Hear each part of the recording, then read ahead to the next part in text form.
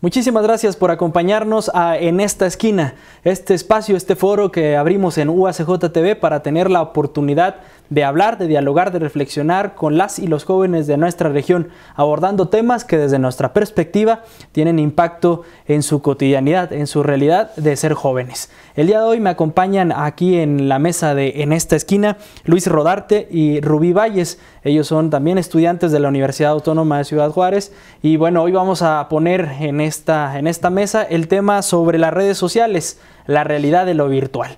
Es un hecho que las redes sociales han modificado la forma en que nos comunicamos hoy en día.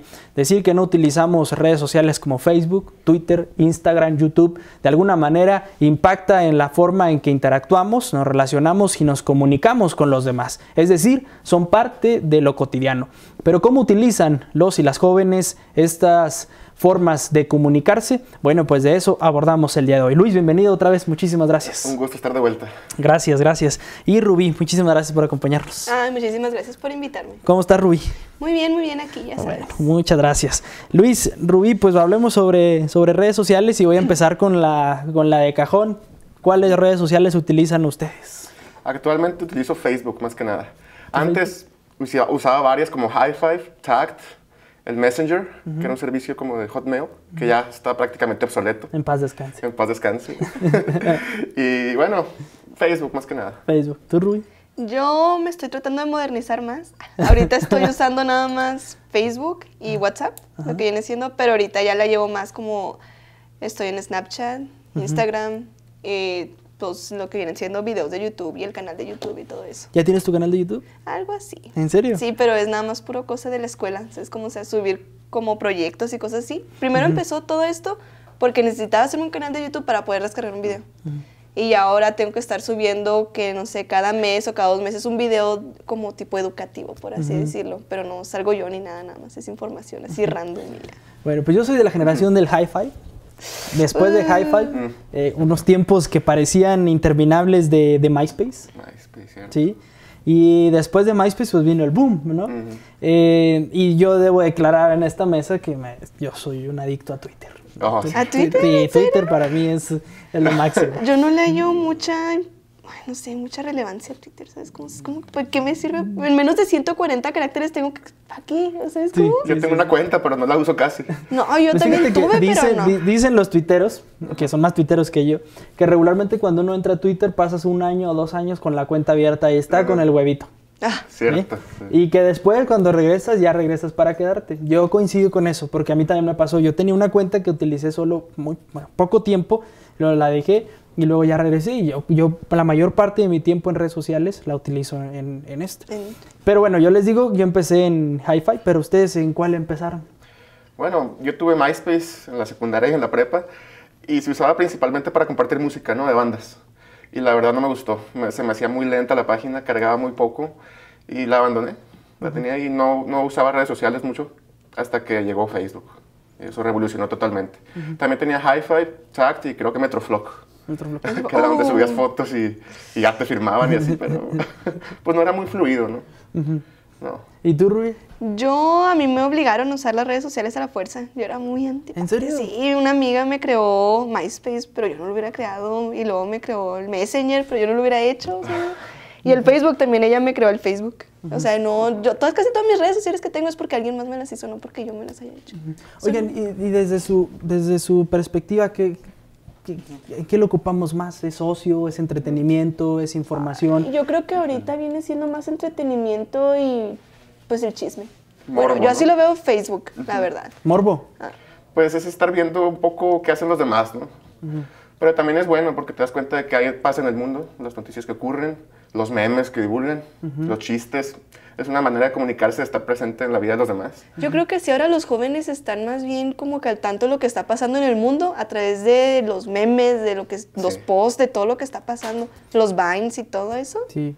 Hay quien, ve como demoníaco esto de las redes sociales, pero yo creo que en, en, relación con jóvenes eh, nos ha permitido abrir como las ventanas del mundo, o sea, te enteras de lo que sucede. Ciertamente el filtro es más complejo, es decir, eh, hay mucha gente que cree que todo lo que pasa por redes sociales es verdad y, no, no siempre pasa así. No sé si les ha sucedido que tú dices, ah, mira, ya lo publicó una frase con una foto de Einstein y la dijo Einstein y nada, que Einstein ni, ni, cuenta. Se está retorciendo en su tumba los pobres. Pero sí, sí, de alguna manera también ha generado como este tipo de eh, de dónde buscar información, esta, esta, fuente de dónde buscar información, pero que no, no sabemos eh, si, es, si es real o no. Yo creo que hay mucha divulgación de información, pero sí hacen falta periodistas o profesionales de la comunicación que se encarguen de organizar toda esa información y filtrar lo que es cierto y lo que es falso.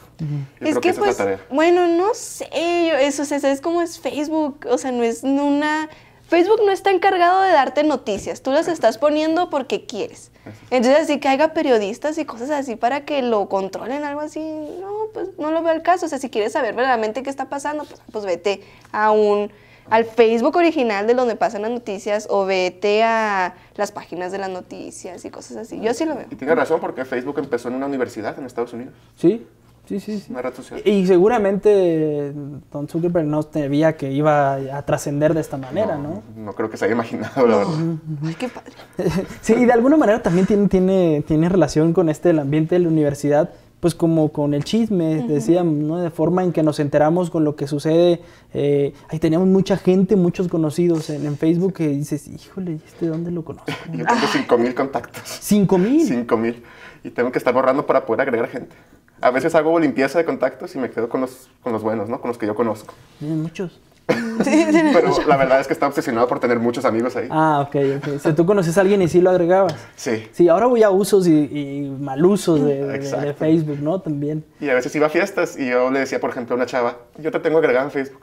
Y ya la conocí en base a eso. Ay, qué miedo. En Facebook. No hagas eso. o algún chavo también, y ya lo dejé de hacer porque pues es algo extraño. Ajá. Sí, también tiene ese tipo, como que no hay un, no tenemos como reglas en eso, ¿no? Es, es como muy libre en ese aspecto.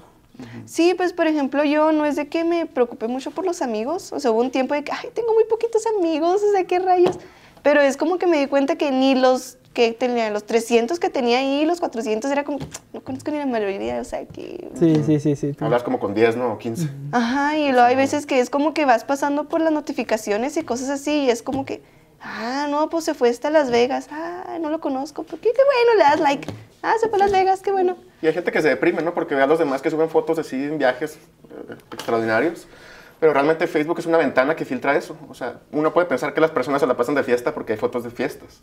ah, la pues, gente bueno, eso, fotos. Eso también es Instagram. O sea, ¿tú ah, crees que la gente vive una vida de maravilla, exitosa, llena de cosas increíbles, pero realmente no? O sea, es, como es una fotografía. Es como querer aparentar en parte. Es lo que de hecho anduvo mucho de moda ahora, a que muchas modelos y cosas así empezaron a descubrir o a destapar su vida de que no es que sean que esta foto no fue nada de que, ay, yo aquí inspirándome, no, no, yo le dije a esta persona, tómame una foto así sí, veme la luz, veme. O sea, hay mucho detrás de una foto.